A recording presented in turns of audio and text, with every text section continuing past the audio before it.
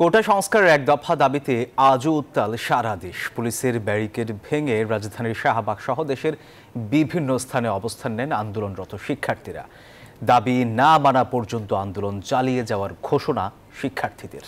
কারও কুমন্ত্র কানে না নিয়ে লেখাপড়ায় ফিরে যেতে শিক্ষার্থীদের প্রতি আহ্বান জানান স্বরাষ্ট্রমন্ত্রী।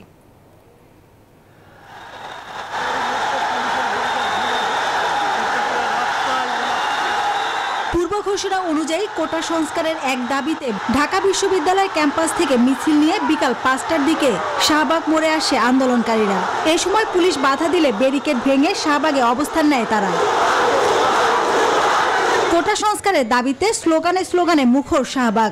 রাজধানীর বিভিন্ন পয়েন্টেও পুলিশের নতুন এক্সপেল এর নতুন ফর্মুলা আরপিএম ডির ডুয়েল অ্যাকশনে ঘরের মশা বাঁচবে না বাইরের মশা আসবে না। বাধা উপেক্ষা করে বিক্ষোভ করে তারা। আন্দোলনরত শিক্ষার্থীরা জানায় দাবি না মানা পর্যন্ত ঘরে ফিরবেন না তারা। মেধাবীরা কিন্তু সরকারি চাকরি থেকে আগ্রহটা কমে যাচ্ছে।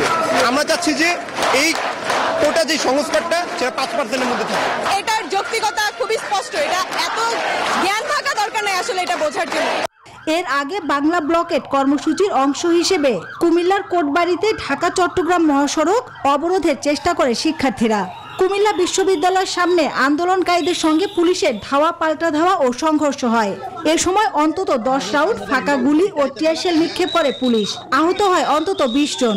আমাদের দাবি আদায় না হওয়া পর্যন্ত আমরা দাবি, আমরা রাজপথ ছাড়বো না। রায় তো এখনও সেভাবে আসেনি না, আমরা যে রায়টা চাইছি, আমাদের দাবি তো এখনও পুরোপুরি মানা হয়নি। এদিকে চট্টগ্রামে পুলিশের ব্যারিকেড সরিয়ে মহাসড়কে অবস্থান নেয় শিক্ষার্থীরা।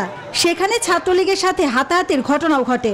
রংপুরে বেগম রোকেয়া বিশ্ববিদ্যালয়ে আন্দোলনকারীদের সাথে ছাত্রলীগের হাতাহাতির অভিযোগ উঠেছে।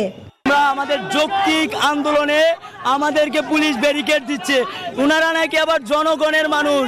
এছাড়া সাভারে জাহাঙ্গীরনগর বিশ্ববিদ্যালয়ের সামনে পুলিশি বাধা উপেক্ষা করে ঢাকা আরিচা মহাসড়কে অবস্থান নেয় আন্দোলনকারীরা। এদিকে বরিশাল খুলনা সিলেটেও বিক্ষোভ করে আন্দোলনকারীরা। সচিবালয়ের স্বরাষ্ট্রমন্ত্রী বলেছেন কোটার দাবিতে জনদুর্ভোগ তৈরি করলে আইন শৃঙ্খলা বাহিনী বসে থাকবে না। অযথা আর এই ভিড় না করে এইখানে এগুলি করতে গেলেই তারাও যে বসে থাকবে, তাদের লেখাপড়া ছেড়ে আর জনগণের দুর্ভোগ হবে, এইটাও যেন তাদের মাথায় থাকে। বিষয়টি সুরাহার জন্য শিক্ষার্থীদের ধৈর্য ধরার আহ্বান জানান তিনি। Masuda Laboni news twenty Dhaka.